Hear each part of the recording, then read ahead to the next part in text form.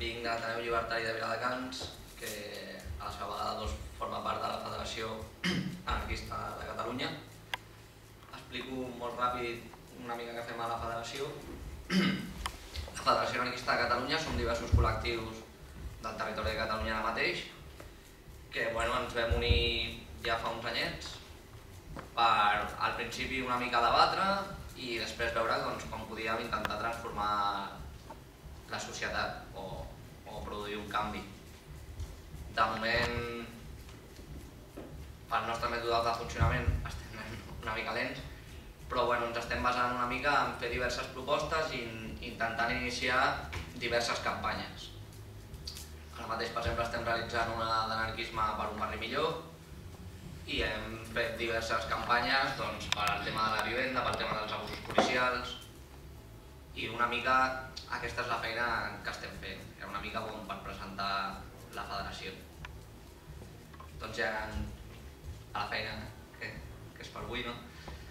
Eh, jo trobava important una mica també parlar del, del context, aunque intentaré anar ràpid per no dir coses que ja s'han dit i que potser tampoc aportarien res nou.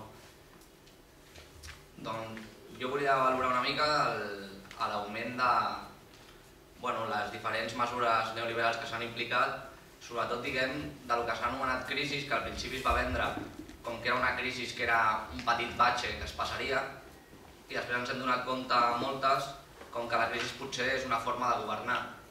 És a dir, que hi ha un govern que es dedica a gestionar els diversos problemes que estan passant, però que la crisi també podria ser una forma de govern. No? Ens hem donat compte també com el capitalisme al tenir que avançar i necessitar més capital ha fet un atac directe no? contra, el, contra les coses públiques en forma de retallades al principi i després privatitzacions.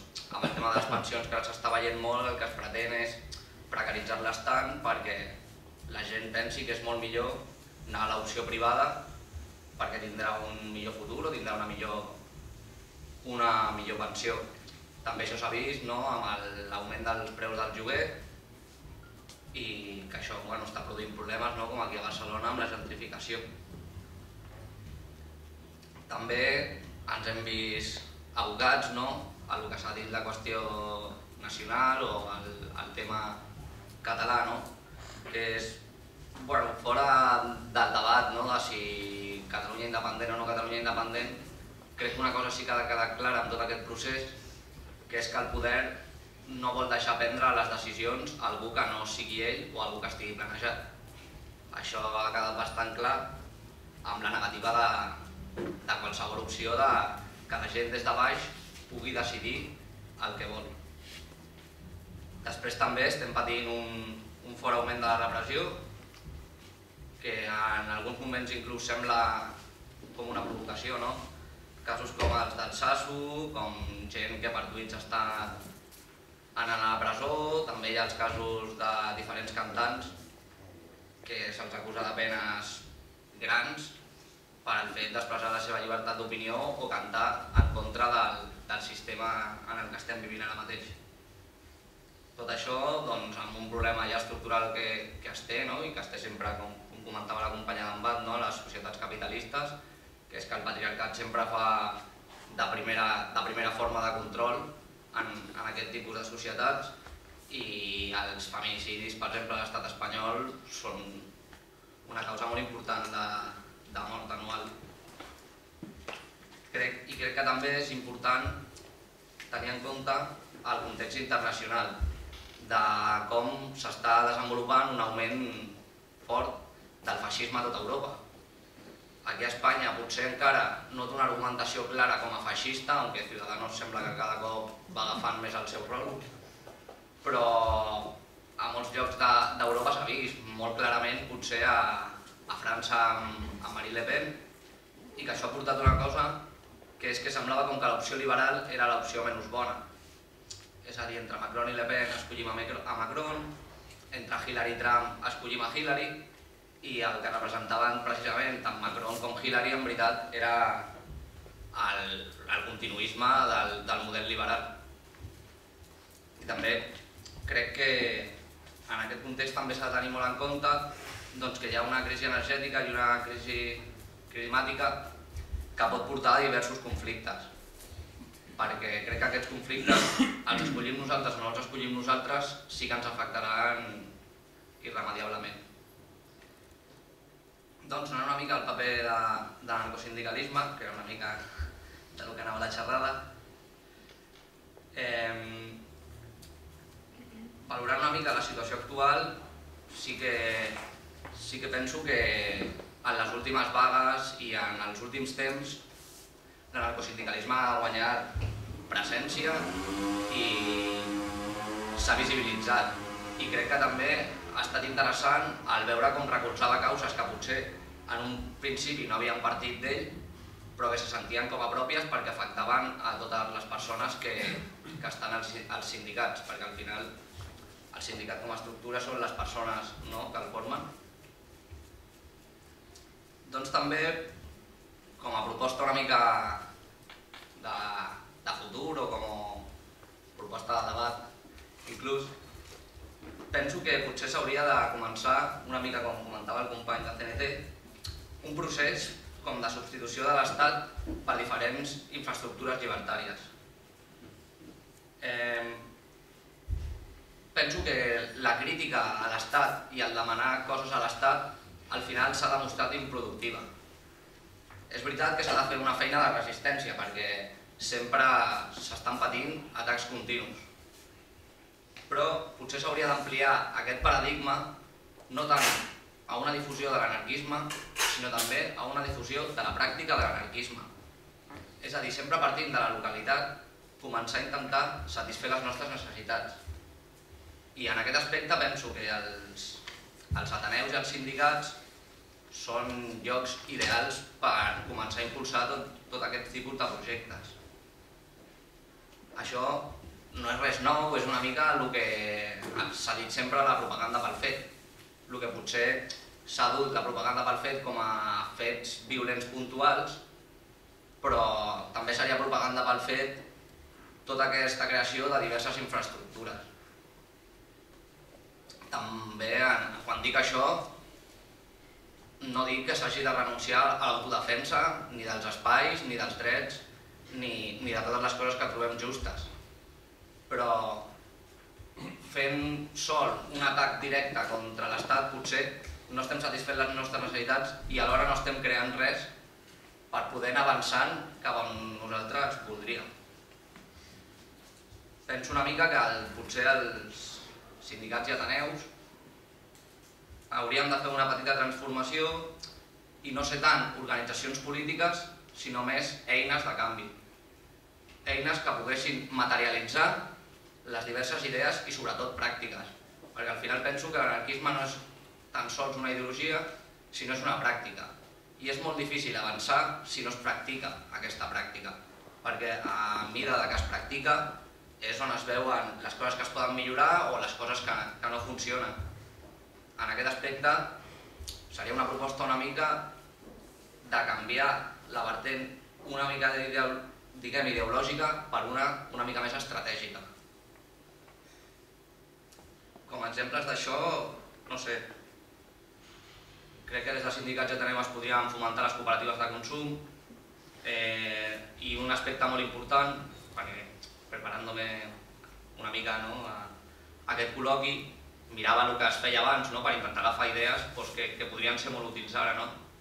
I trobo que ara la gent jove, però també molta gent adult, ens falta molta formació per la pràctica de l'anarquisme. És a dir, nosaltres hem estat criats i educats en un sistema liberal que només ens ha ensenyat coses liberals.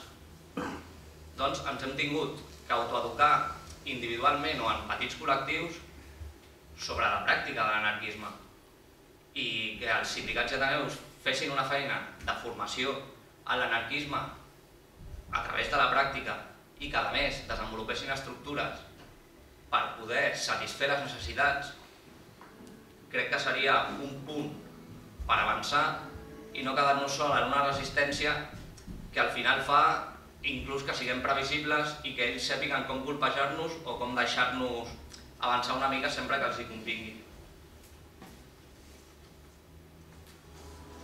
També trobo ja acabo, jo vull ràpid, que, que seria interessant iniciar la creació d'un moviment que es basés en lo heterogeni. És a dir, que comencem a fomentar que hi hagi diferents visions i hi hagi diferents visions que puguin construir coses però que nosaltres les sentim com també part del mateix moviment. Em refereixo a diferents organitzacions o diferents tendències llibertàries, no, no em referia a banques com Podemos, per dir-ho d'alguna manera. No? I crec que també seria bastant interessant eh, fixar-nos en, en diversos moviments o lluites que s'estan donant a través del món que estan aconseguint parcialment, tot i que els models mai siguin calcables 100%, combatre el capitalisme i guanyar-li. Crec que hi ha dos exemples que són bastant famosos, que bueno, torno a repetir que no són exportables 100%, però crec que es poden aprendre moltes coses, com són el, el moviment que s'està donant a tot el Kurdistan, amb una forta presència de les dones, amb una forta presència de les comunes, amb una forta organització a través del confederalisme democràtic. I a Chiapas també hi està ja venint un moviment d'autoorganització per lluitar contra un narcostat que existeix a Mèxic i crec que podríem mirar aquests moviments i aprendre molt d'ells. Ja està.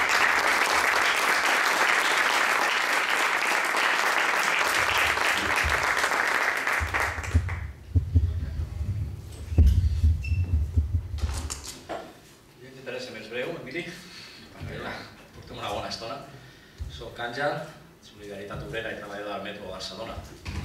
I, bueno, explicar què és Solidaritat Obrera, tenint CGT i tenint CNT, jo crec que seria més o menys efectiu. Al final som un sindicat que intentem ser anarcosindicalistes, intentem, això costa. Per nosaltres el tema de la xerrada estava molt clar, que era l'anarcosindicalisme avui, i jo crec que en aquest moment, si, si posem la gent que va fer el Congrés del 18, la posem aquí, seria al·lucinant i jo crec que al final hem de retrobar aquella gent i portar-la aquí. I la nostra proposta en aquest sentit seria molt clara. O sigui, per nosaltres el que, el que estem vivint ara, com diuen els companys de la crisi, que és viure en una crisi, que és, sembla ja una forma de poder, una forma de governar el poble, jo crec que, és, que hem de tenir uns eixos mínims per intentar donar-li tota la volta. Jo crec que els eixos, l'anarcosindicalisme els ha de intentar articular d'una forma clara, d'una forma contundent i sobretot tenir molt clar el que és la seva cultura durant tots aquests anys, que és l'acció directa i l'organització dels treballadors. O sigui, jo em centraria sobretot que ha de ser un sindicalisme unit. O sigui, per nosaltres ja no parlo de reunificació, sinó un sindicalisme unit. O sigui, no pot, no pot haver-hi dintre de la gent que es diu sindicalisme aquesta dissensions de funcionament o de, o de discurs quan al final tothom venim de, de lo que venim, que és del 18. O sigui, per nosaltres seria una forma molt clara de definir-nos. La següent forma seria un sindicalisme de base, combatiu, participatiu. Tot això ens, ens portaria un sindicalisme fort, un sindicalisme fort que la gent treballadora que ara mateix que està en precarietat, com va dir els companys, vegin que hi ha una altra forma de solucionar els problemes o de, bueno, de com a mínim veure que això de la crisi és un compte. Per nosaltres seria un sindicat comunitari i combatiu, els eixos d'actuació per nosaltres són molt clars i sobretot en aquest sentit seria una acció directa en tots els estaments o, o empreses en les quals l'anarcosindicalisme s'ha d'intentar basar. Una importància estratègica seria sobretot el sector de la logística i el transport. Per nosaltres és vital. O sigui, si siguéssim capaços d'intentar tenir una, un afiançament en tota aquesta xarxa de transports públics, privats, el que sigui, és una cosa que tindríem el poder, els treballadors tindríem un poder de paralitzar, de paralitzar els béns, de paralitzar un moment donat tota la producció que el capitalisme vol engegar. O sigui, això seria el principal. La segona qüestió seria el, el treball que ara mateix es diria com intel·lectual o cognitiu que no produeix res però que al final és treball també, o el que volen dir ara que és el teletrabajo. O sigui, és un engany de tot, o sigui, és un, és, és un espai on jo crec que l'anarcosindicalisme ara mateix no està fent res i el que està fent el teletreball al final és més precarietat d'una altra forma.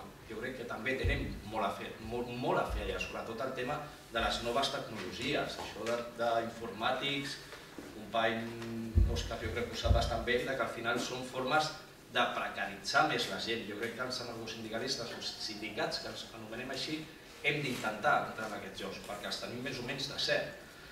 Per nosaltres seria el procés de precarització sobretot de la condició obrera. O sigui, el que no pot ser és que tenim, tenim ara, ara amb els, les reformes laborals i amb tot el que ha hagut de canvis de legislació laboral estem perduts, o, sigui, o de legislacions de la seguretat social o de legislacions de reformes laborals cada vegada s'estan fent més estrenyent el poder adquisitiu dels treballadors i sobretot, sobretot el sindicalisme i desenvolupar tot el sentit del sindicalisme combatiu que defenem. O sigui, al final es tracta d'això, o sigui, totes les lleis que estan fent fins ara els diversos governs és estreny això més. Més, jo en aquest sentit sí que no estaria tan d'acord amb el company de CNT de que estan veient que hi ha unes altres formes d'organització jo no me l'he trobat. O sigui, el que m'he trobat és que eren solidaritat obrera són més problemes per crear-lo que potser en un moment donat haguessin tingut 20 anys. Sincerament m'he trobat més problemes i m'he trobat potser quasi bé, jo no dic repressió, però sí unes mirades mm, que donen, que donen molt, molt a dir. L'altra part seria sobretot mm, la defensa dels serveis públics. O sigui, hem d'acostumar-nos a defensar els serveis públics dels quals hem de tenir molta, molta cura, des de l'ensenyament, la sanitat, el transport que sigui públic. Tot això ho hem de cuidar. O sigui, al final hem de fer que tot el que sigui servei públic sigui un bé comú i el treballador, sigui o no un treballador del servei públic el de fer és defensar-ho, perquè al final el que estan fent les empreses, sobretot els estats, és intentar agafar el pastís més gran que té l'estat, que és els serveis a la ciutadania. Si l'anarcosindicalisme no entén que els serveis públics és una forma que millor defensant-la aconseguim o que sigui la primera fita d'autogestió, com deia el company, no anem bé. O sigui, al final és un bé comú i aquest bé comú s'ha de defensar tot el que sigui servei públic, jo crec que al final hem d'intentar defensar-ho sempre, de qualsevol manera, o sigui, perquè al final totes les empreses estan veient que tot el que és treure l'Estat, el servei públic, els treballadors, a la ciutadania, són diners.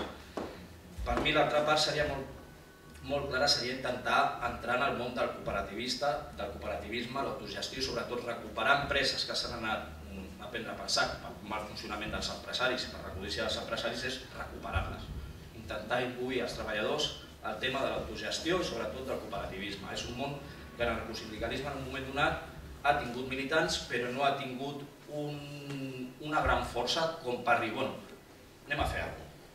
Anem a fer alguna cosa. Per què? Perquè al final si no ho fem nosaltres ho fa l'Estat. Què ha fet l'Estat? L'Estat que ha fet els falsos autònoms i 28.000 coses que al final el que fan és que aquesta gent que, que millor tindria una empenta per, per, per fer coses quan no les té, quan no té el suport d'un sindicat foro, d'un sindicat combatiu, el que fa és mm, agafar el primer que hi ha, el que deia els companys de precarització, falsos autònoms, o cobrar per hores, o contractes de, de, de 20 minuts o de mitja hora.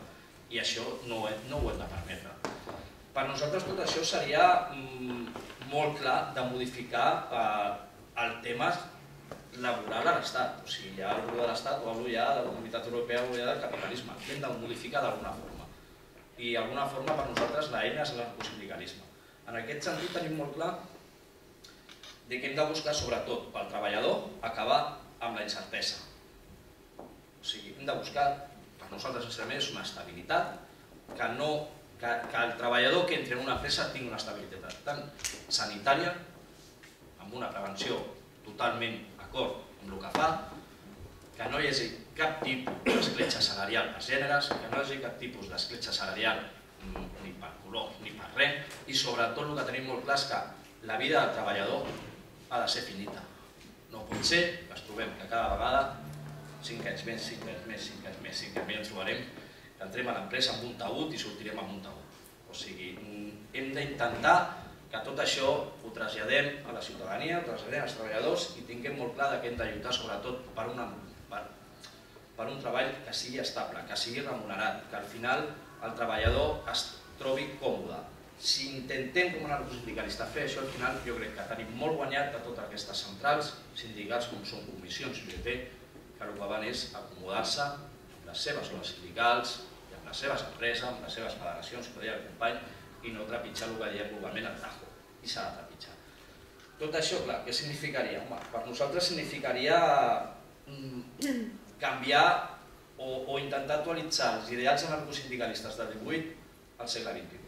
I jo crec que com sindicats o seccions sindicals anarcosindicalistes ho hem d'intentar. No, estem al, no estem al segle XX, no estem al segle XIX, no estem al Compliments de Sants, però el que sí tenim és que tenim treballadors, tenim problemàtiques que pateixen els treballadors, o ens posem les piles o això s'enfonsa. Jo crec que al final l'única eina que té el treballador és pensar d'una forma molt acurada. Per nosaltres la realització de les lluites és més important que la realització en si. I ho diem així, o sigui, si els treballadors són capaços d'organitzar una lluita, em dóna igual si és amb CST, CNT, amb Ambat o la Federació Anarquista, em dóna igual, perquè al final per nosaltres la fita no és l'organització, és l'organització de les lluites. I totes aquestes lluites, que al final intentem amb els treballadors conscienciar-los que una altra societat és possible, una altra societat, a lo millor una forma de venir i d'autogestionar-se ve del món laboral. I al final, com a solidaritat obrera, ens dona igual si una secció es presenta als, als comitès d'expreses com si no es presenta.